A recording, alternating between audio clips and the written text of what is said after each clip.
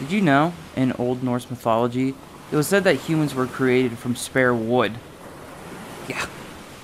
Odin was walking along the beach and found some driftwood lying there in the sand. He went ahead, carved them, and decided that they were going to be the first set of humans to roam the earth. Interesting. It could also explain why some people are so dense. Carving is an interesting art. It is one of the first art forms in the world, and anyone can pick it up, just as long as you're not dumb and carve yourself in the process. I find it to be quite amazing. Take a soft piece of wood, grab a knife, and carve what you envision. The literal physical manifestation of imagination. It could literally be anything an animal, a vehicle, or something that doesn't even truly exist.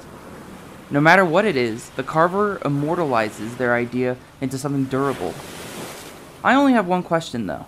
So, what was Odin's vision when he carved humans? Was it for a greater purpose? Just an experiment?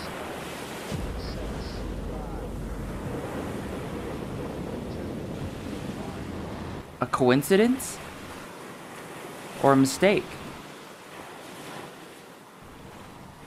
Whatever it was, I still have hope.